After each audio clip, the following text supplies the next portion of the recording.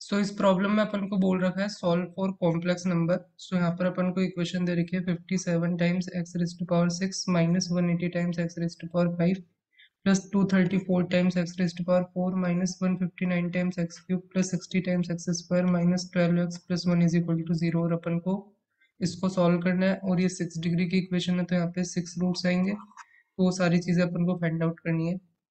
तो देखते हैं इसको कैसे कर सकता है। तो सबसे पहले यहाँ पर तुम्हें डिफरेंट चीज़ें दिख रही होगी। इसको अपन इस तरीके से लिखता है। जैसे fifty seven times x raise to power six है। इसको तुम इस तरीके से लिख सकते हो। वही सिंप्लीफाई करने के लिए कर रहे हैं सारी चीज़ें। Sixty four times x raise to power six minus eight times x raise to power six plus x raise to power six तो इस तरीके से लिख दिया इसको। वैसे ही जो नेक्स्ट टर्म तुम्हें दिख रही है वो है one eighty times x raise to power five वाली।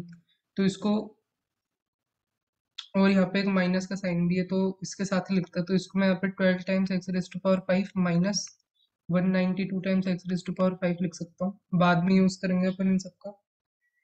नेक्स्ट टर्म है यहाँ पर two thirty four times x raise to power four तो इसको तुम लिख सकते हो two forty times x raise to power four minus six times x raise to power four next term है तुम्हारे पास यहाँ पर माइनस का one fifty nine times x cube तो इसको तुम लिख सकते हो x cube minus one sixty times x cube next में तुम्हारे पास यहाँ पर sixteen axis sixty x square इसको ऐसा रहने दो minus twelve x and plus one तो ये सारे टर्म अपने पास। तो इसको मैं लिख देता हूँ।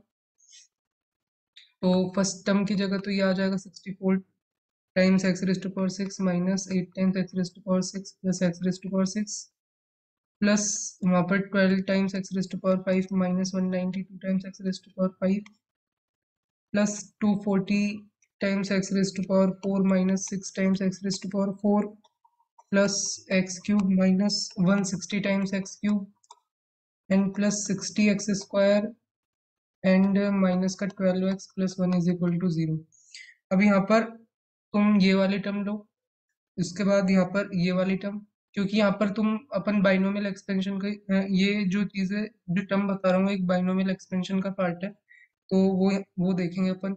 फिर ये वाली टर्म लेंगे अपन।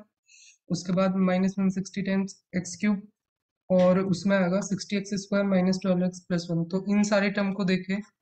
So sixty four times x raise to power six minus one ninety two times x raise to power five plus two forty times x raise to power four minus one sixty times x cube plus sixty times x square minus twelve x plus one so अगर तुम देखोगे तो इसको तुम लिख सकते हो six C six two x raise to power six तो यहाँ पर इस तरीके से लिख सकते हो।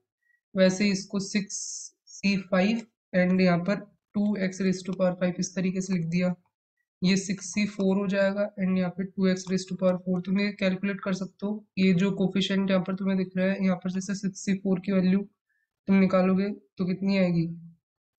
Six multiply by five divided by two तो ये तुम्हारे पास फिफ्टीन आएगा और फिफ्टीन को तुम अगर सिक्सटीन से मल्टीप्लाई करोगे तो टू फोर्टी आएगा। तो वहाँ पर ये दिख रहा है तो मैंने इस तरीके से लिखा है। माइनस ये sixty three times two x का क्यूब बन जाएगा।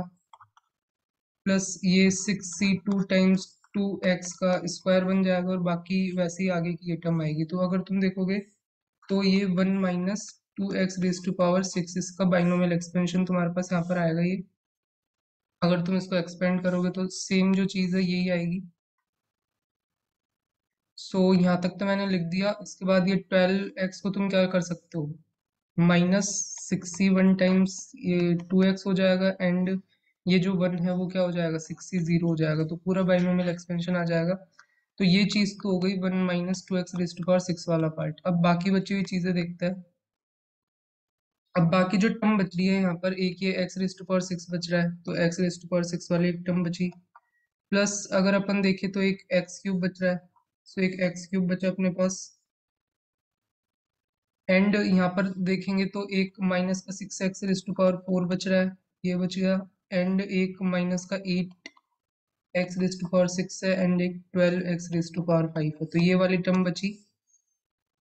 तो यहाँ पर ये अब इसको इस तरीके से लिख सकते हैं एक्स टू पावर सिक्स को तो ऐसे रहने देते हैं ऐसे एक्स क्यूब कॉमन ले सकते हैं।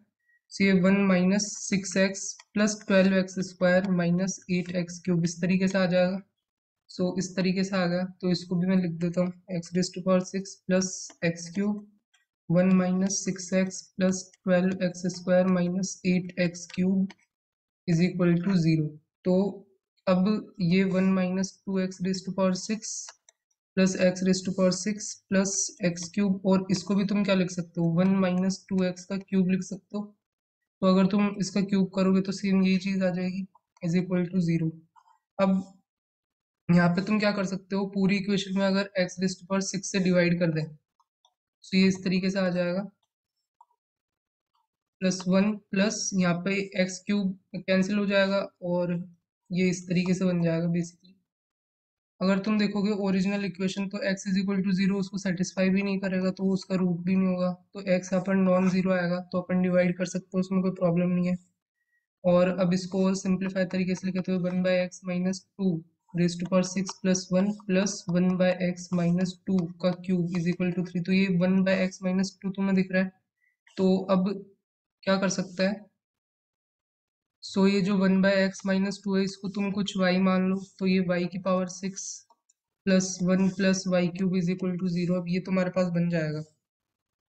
अब यहाँ पे भी तुम क्या कर सकते हो वाई क्यूब को अगर मैं फर्दर टी मान लूँ तो ये तुम्हारे पास क्या बन जाएगा? T square plus t plus one is equal to zero और इसके तुम्हें पता ही है complex cube root of unity में तुमने पढ़ा होगा omega and omega square so minus one plus minus root of three iota divided by two तो ये दो रूट आ जाएँगे। आपको टी की तुम्हारे पास दो वैल्यू आ गई।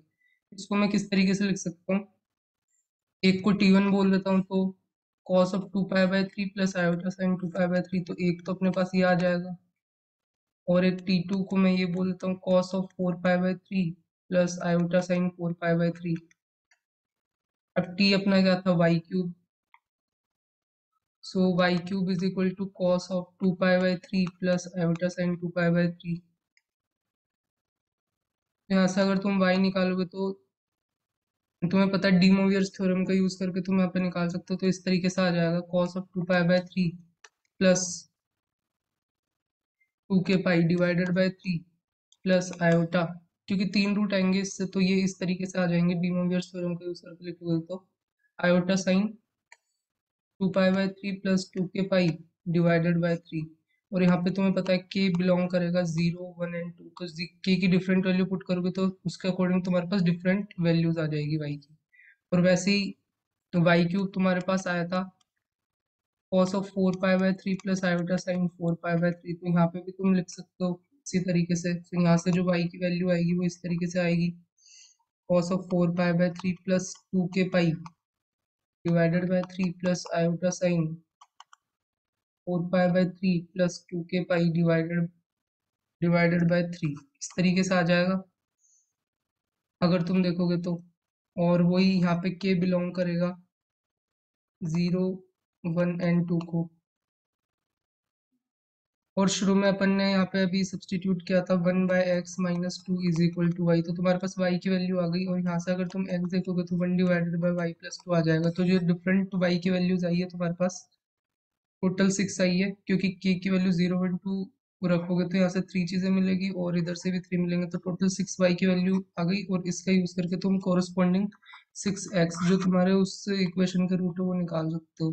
तो इस तरीके से अपन इसको सॉल्व कर सकते हैं। तो तुम्हें अच्छा लगा होगा। अच्छा लगा तो लाइक करो शेयर करो सब्सक्राइब करो। मिलते हैं नेक्स्ट वीडियो में।